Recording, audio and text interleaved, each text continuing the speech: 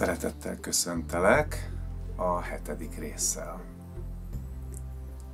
Hatodik rész végén ugye ott fejeztük be, hogy az ébredés mennyire fontos, az ébredésünk a jelenbe, hogy legyünk, hogy koncentráltak tudjunk lenni. Tehát ezekről beszéltem. És hát nyilván az elő, előtte levő részekben meg ugye nagyon fontos volt, hogy a önismereti tréninget végigcsináljuk, megismerjük önmagunkat, találkozzunk a, azokkal a programokkal, amik vezérelnek, és ugye a hatodik rész már arról szólt, hogy ne egy automata programon, hogy ne ezeknek a programoknak a sorozatával éljünk, hanem ezekről váljunk le, legyünk tudatosak, és ezt kezdjük a reggeli ébredéssel. Aztán utána napközben is, hogy próbáljunk a jelenbe lenni minél többet. Aztán majd később beszélek arról, hogy mennyire fontos az, hogy majd a gondolatunkat, a gondolatainkat, a gondolatiságunkat is ugye fejlesszük. De most, ahogy megyünk sorba ezekkel a technikákkal, most az a fontos, hogy a jelenbe legyünk. Ez a hetedik rész pedig azzal foglalkozik, hogy változás. Kerestetek meg, kapok e-maileket, hogy mikor és hogyan történnek meg ezek a változások. Azt tudom mondani, hogy ha alaposan, ha úgy igazából végigcsinálod az első eladásaimtól kezdve ezeket a technikákat, akkor a változás az már elindult, sőt, mert nagyon komoly változások vannak nálad. Lehet, hogy változás, változásként nem érzed még az, azt a sok kicsi, apró mozaikot, ami kezd a helyére kerülni, de összességében egyszer csak kész lesz a, a kép, egyszer csak megtörténik. Tehát egy folyamatban vagy benne, és egyszer csak megtörténik az, amit te is már azt mondod, hogy na, ez már egy változás. Itt kiemelném a fontosságát, hogy, hogy, és ezt is sugallottam az első részektől kezdve, hogy önmagunkon dolgozunk. Tehát a változás az nem az, hogy én megváltoztatok magam körül dolgokat, meg megváltoztatok embereket. Természetesen hatásunk lesz mindenre, de ez a hatás úgy történik, hogy először magunkon dolgozunk, önmagunkon, és ahogy mi változunk, úgy változik a környezetünk, úgy leszünk hatással a környezetünkre. Tehát, hogyha egy régi helyzetben vagyunk, amit folyamatosan csak másolunk. Tehát ma is rossz napom van, ma is rosszul állok a dolgokhoz, ma is csak rossz dolgok vesznek körül, és ezt lemásolom, akkor holnap is ugyanez fog történni. Holnap is pontosan ugyanez történik. Tehát ezért dolgozunk magunkon az önismerettel, a programok megismerésével, az ébredésünkkel, a koncentráltságunkkal, ezzel mind-mind magunkon dolgozunk, és egy nagyon kedves ismerősöm írta, hogy amióta csinálja a tréninget, hogy a férje több munkát kap. Hát ez érdekes, ugye? Ő dolgozik magán, nem a férjén, saját magán dolgozik, de mivel megváltozik ezáltal a rezgésünk, a kisugárzásunk, harmóniát tudunk teremteni, ezzel hatással vagyunk ugye a másikra, és az a másik valaki lehet, hogy pont a, a te fékettől, amivel te fékezted, tehát az attól megszabadulva, elkezd elindulni az ő dolgaiba, az ő útján. Elkezdenek működni a dolgai. Lehet, hogy te voltál a fék. Érted? És mindig mutogatunk kifelé, tehát, hogy ő tehet róla, ő tehet, ő tehet, ő tehet. Persze, mert még nem akarunk dolgozni magunkon. És amikor elkezdünk dolgozni magunkon, és megnézzük, hogy igen, én, én teremtem a világomat, én teremtem a világomat, én is hibás vagyok ebbe, ebbe, ebbe, ezeket igen, én követtem el, ezek az én álmaim voltak, és ezek az én kudarcaim, és ezeken végigmész, és megtörténik a változás, és akkor változik a környezeted is. Tehát ez egy nagyon érdekes dolog.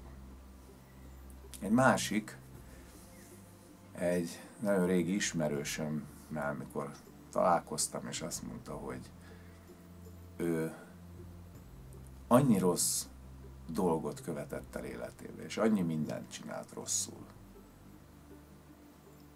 hogy ő, neki egyetlen egy út maradt előtte, hogy megtért Istenhez. Tehát bement egy templomba, letérdelt a padsorok között, és az elmondása szerint megtért Istenhez. Én nagyon örültem ennek, amikor ezt hallottam, de gondolataimban sok minden más is megfordult, és hogy elkezdtem kielemezni egy picit, hogy tulajdonképpen mi is történhetett. Hogy ez a megtérek Istenhez, vagy Istenhez fordulok, hogy mi történhetett ott térdepelve ott a padok között. Hát találkozott önmagával.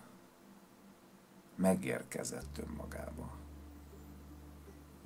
Egyszer csak elkezdte végig gondolni az életét, végig gondolta azt a sok rosszat, amit elkövetett az életébe. Végig gondolta a rossz helyzeteit, az összes helyzetet, amiben benne volt. És ezt így élte meg, hogy ezt Isten közvetítésével tette meg. De tulajdonképpen önmagába érkezett meg. Ugyan az történt, amit én neked az első részektől kezdve ide teszek, hogy önmagadba megérkezni, önmagaddal foglalkozni, önmagadon dolgozni, és akkor a változás, a változás megtörténik. Mint ahogy neki is ugye megtörtént a változás, ő ezt ma úgy fogalmazza, hogy Isten kegyelmet adott neki, tulajdonképpen találkozott önmagával, és végignézte az életét. És eljutott oda, hogy már akarta a jót, kívánta a jót, akarta a jót, és az egy következő lépés lesz majd, amikor majd teszi is a jót. Ugye? Tehát ez is nagyon fontos. És ha már egy kicsit így a Istennél tartottam, akkor ugye ez megint nagyon fontos. Tehát, hogyha ha mi azzal letudjuk a dolgunkat, hogy imádkozunk, meg elmegyünk a templomba, akkor nem sok mindent csináltunk. Akkor nem sok mindent csináltunk. Tehát belül meg kell, hogy történjenek a dolgok. Érted? És most, hogyha te a teremtőhöz fohászkodsz, Istenhez fohászkodsz, vagy saját magadba mélyedsz el, saját magadba keresed a, a, az utat és a lehetőséget, akkor tulajdonképpen ugyanazt csinálod. Istenhez fordulsz, önmagadhoz fordulsz, gyakorlatilag ugyanaz. És ezt a változás, ahogy megtörténik, egy csomó minden elkezd megváltozni, tehát ahogy valakinek a férje, aztán kihat a gyerekekre, aztán a munkatársakra, és minden, minden elkezd változni. De ezt a változást engedned is kell. Tehát ezt hagynod kell, hogy megtörténjen. Tehát ennek nem lehetsz te féke. Féke vagy például akkor, hogyha mondjuk a megbocsátásokat nem csinálod meg. Azt mondod, hogy tulajdonképpen már mindenkinek megbocsátottam, de azért Bélának nem. Az úgy, úgy nincs rendben vagy amikor önmagadban nézel, és akkor vannak még olyan zegek, zugok, amiket nem akarsz megnézni, mert az, az ott neked az ott nagyon fáj, vagy, vagy szégyelled, de tessék megnézni. Tehát az, azon is tovább kell menni, azért, hogy a változás megtörténjen. Mert utána Szóval az jutott eszembe, hogy amikor megkeresett valaki azzal, hogy ő, ő annyit csalódott a, a partner kapcsolataiba, hogy ő már nem bízik senkibe. Tessék végigcsinálni a gyakorlatokat, önismeret, végigcsinálni, megbocsátások, elengedés, hálaadás, végigcsinálni, és akkor úgy fogsz elmenni a rendezvúra, hogy újból nyitott leszel, tiszta leszel, nyitva van ajtó, ablak, és tudsz örülni annak, hogy egy lehetőség előtt vagy, hogy megint egy lehetőség előtt vagy. Nem úgy mész oda, hogy szorongva, hogy te már annyira megégetted a kezedet, és annyira nem akarsz csalódni még egyszer, és akkor én így találkozok veled, leülünk egy szép ilyen ebéd vagy vacsora alkalmával, és te odajössz nekem ezzel a szorongásoddal, én mit kezdjek veled? Én mit tehetek arról, hogy neked szorongásaid vannak? Azon neked kell dolgozni. Én dolgozom a sajátomon. Tehát én tiszta szívvel oda megyek, hogy veled megismerkedjek, és te meg oda jössz szorongva. Meg ilyen bizalmatlan, ilyen fürkészve, hogy na ez is biztos azt akarja. Hát persze. De, de ez a munkára is ugyanígy igaz. A munkára is igaz. Tehát, hogy, hogy nem mersz váltani. Miért nem mersz váltani? Azért, mert eddig is másoltad a dolgaidat. Tehát ahogy a rossz, berögzött, vacak dolgaithoz is ragaszkodsz, ugyanúgy a munkádba is ragaszkodsz, mert azt mondod, hogy jaj, de hát legalább ez biztos. Jaj, mert az a másik az olyan bizonytalan. Nem mered kinyitni az ajtót, az ablakot. Érted? Azért, mert még nem csináltad végig. Még nem jutottál el oda, hogy kitakaríts programokat, kitakaríts a múltadból ilyen piszkokat, szennyeket, ezeket kitakarítsd. És akkor újra föl tudsz töltődni, energiával tudsz lenni. De az már ismerni kell magad, hogy végig tudjad gondolni, hogy te, hogy mire vagy képes. Hát ne olyat akarjál csinálni, mire nem vagy képes. Hát azt lehet, hogy akkor meg kell tanulni. Ez olyan, mint én leakasztanám valamelyik gitáromat, és akkor ö, elmennék egy ö, nagy zenekarba, és azt mondanám, hogy jöttem ide játszani. És akkor mondták, mondanák, hogy jó, akkor tessék, itt van egy próba lehetőség. És akkor ott játszok valamit, és akkor mondják, hogy ja, hát ilyen van még 8 millió. Érted? Tehát ezt, ez megint önismeret. Tehát fel kell mérned, hogy hol vagy, milyen szinten, vagy egy asztalos vagy. Mit tudsz egyenesen fűrészelni? Érted? Vagy csak folyamatosan selejtett, silány dolgokat csinálsz, és akkor utána keseregsz, hogy, hogy téged nem becsülnek meg. Hát persze, hát hogyha ha nem jó munkát végzel, hát miért becsülnének meg, mit becsüljenek rajta? Én úgy, hogy nem értek egyet sokszor az, amikor azt mondják, hogy, hogy hát aki dolgozik, az hibázhat is. Persze, lehet hibázni. De hát tudod, hogy ez is csak egy ilyen mentség ilyen kitalált dolog, hogy persze, hát hibázhatsz. Hát képzeld el, hogy elmész az operaházba, és akkor ott az egyik hegedűsöd félrehúzza a vonót. Azt mondod, hogy hát én erre az előadásra vettem jegyet, hát nekem nehogy már itt félrehúzza. Mit érdekel engem, hogy a másik 30 előadáson jól játszott? Az én előadásomon, amiért én fizettem, ne húzzam el. És képzeld, ezek a zenészek egyszer se húznak mellé. Hoppá. Nem húznak mellé. Ugyanakkor meg a politikusok mindenki mondja, jó, hát ezt már így gondolom, holnap úgy gondolom, majd így csinálom, úgy csinálom. Ezeket kapod folyamatosan ilyen programokba, hogy, hogy jó, persze lehet hibázni, ezt is lehet, hibázhat, persze, orvosok is hibázhatnak. Igen, de amikor te hozzátartozód maradott az asztalon, hoppá, akkor nem így gondolod, hogy hibázhat. Ugye? Mint ahogy a hegedűs se hibázik a zenekari árokba, az operába, ugye? Tehát nagyon-nagyon-nagyon sokat kell foglalkozni magunkkal. És hogyha sokat foglalkozunk magunkkal, és megtörténnek ezek a változások, akkor már nem fogunk olyan furcsán nézni másokra, hogy ő miért sikeres, ő neki miért van több, mint nekem, neki miért működik, mert valamit alaposabban csinál.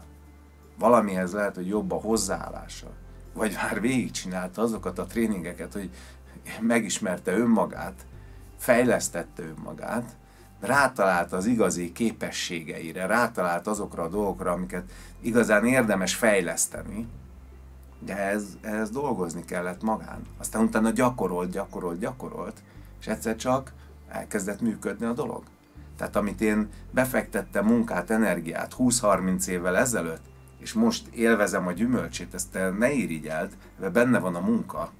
Benne van a munka. Tehát én 30 évvel ezelőtt úgy döntöttem volna, hogy, hogy nekem elég az a középszerűség, vagy, vagy egy kis kocsmázással, egy kis haverozással, egy kis csajozással, meg minden így el lehet lenni az életbe, én akkor így gondolkodom, akkor most nyilván nem így élek. Én akkor beletettem, sok-sok évet tettem bele, és sok mindennel foglalkoztam, és nagyon sokat tanultam. Csináld az önismeretet, tovább, folytasd, foglalkozzál magaddal, és igen, engedd meg a változásokat. Ezek a változások már elindultak. Figyeld továbbra is a környezetedet. Legyél nyitott. Nyíj meg segítsd a változást, hogy megtörténjen. Tehát ne csak a fejedbe mindazokat, amiket mondok, hanem egyszerűen érezd, fizikailag érezd, csináld a gyakorlatokat. Nyisd ki az ajtót, nyisd ki az ablakot, hogy a változás meg tudjon történni. És innentől lépünk majd megint a következő részben, a nyolcadik részben, fogunk egy kicsit tovább lépni, és elmegyünk egy nagyon picit így a, talán kicsit a misztikumok irányába is, hogy mi mindenre vagy te akkor képes, hogyha már a jelenbe vagy, hogyha már a változások megtörténtek, amikor már nem másolod egyik napodat a másik után, hanem már kinyitottál, és keresel valamit, keresel, kutatsz, hogy milyen technikákat lehet majd használni, hogy majd a gondolatoddal hogy tudsz teremteni, és hogy tudsz előre vetíteni magad elé olyan dolgokat, amiket ilyen célként kitűzöl, és akkor abba az irányba, hogy milyen szisztémával hogy tudsz haladni a gondolataid segítségével. Tehát ott egy kicsit elválunk ugye ettől a fizikai síktól, és elkezdek nektek majd a gondolat erejéről beszélni. Ez volt a hetedik rész. Köszönöm a figyelmeteket.